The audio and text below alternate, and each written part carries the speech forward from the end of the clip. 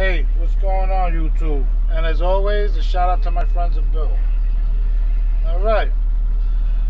How's everyone doing today? Hopefully, everyone's having a, a good day. And if not, remember, keep it in the moment. Don't let nothing ruin your whole day. All right, I got the thought for the day, April 4th. Let's see what they say here. When I came into AA, I found men and women who have been through the same things I have been through. But now they were thinking more about how they could help others than they were about themselves. They were a lot more unselfish than I ever was. By coming to meetings and associating with them, I began to think a little less about myself and a little more about other people. I also learned that I didn't have to depend on myself alone to get out of this mess.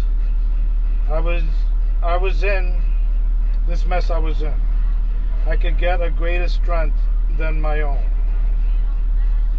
True. Very true. Once you you start going into the rooms, now you learn that it's not all about you. Not the only one in this boat.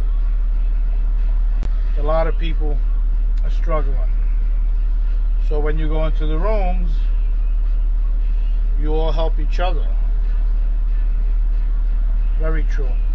You stop worrying about yourself and you start worrying about the next guy. You want to help him. Powerful, powerful program. You're struggling, you haven't been to the rooms, give it a try. Don't knock it till you try it. You're still out there, whatever you're doing is not working, so give it a shot. Doesn't hurt to try. But yes, that was the thought for today, April 4th. Uh, here I am about to make a little delivery in the city. I just wanted to make a quick little video.